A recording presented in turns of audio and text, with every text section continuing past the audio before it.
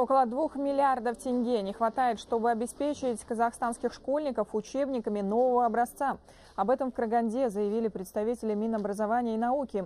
Они сейчас посещают наиболее проблемные в этом вопросе регионы. Так, в Карагандинской области практически все школьники обеспечены переизданными учебниками. А в самой Караганде нехватка составляет около 20%. Чиновники отправили в городской маслихат заявку с просьбой выделить на покупку книг 22 миллиона тенге.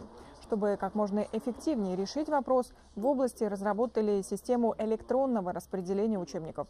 Она поможет выяснить, в каких школах есть избыток литературы, с тем, чтобы передать ее другим учебным заведениям.